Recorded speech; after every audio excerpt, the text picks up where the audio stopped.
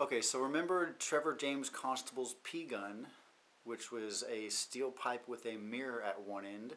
He used that to bring rain by moving it 55 miles an hour in one direction. So, led me to playing with mirrors and orgonite. Orgone energy from orgonite and other stuff, I don't know, is uh, uh, blah. I'm having some trouble today. Okay.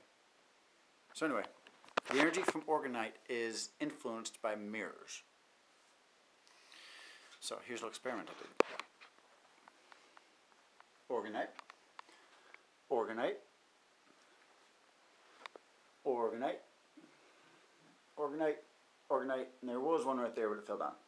So they're surrounded, they're all at the same level, and there's a mirror in the middle of all of them. I haven't noticed anything with them.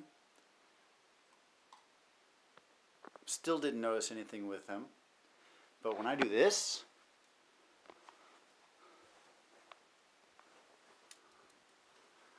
and I've got them all spinning, as well as the mirror spinning,